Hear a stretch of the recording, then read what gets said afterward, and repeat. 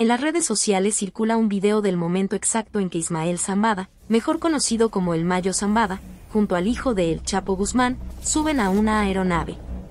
El video tiene una duración de menos de 16 segundos. Ismael Zambada García, también conocido como El Mayo, uno de los más prominentes líderes del cártel de Sinaloa, fue detenido después de décadas de mantener un perfil bajo y eludir a la justicia. De acuerdo con fuentes citadas por la agencia Reuters, el cofundador del grupo de crimen organizado se entregó y fue puesto bajo custodia en los Estados Unidos junto con Joaquín Guzmán López, medio hermano de Ovidio.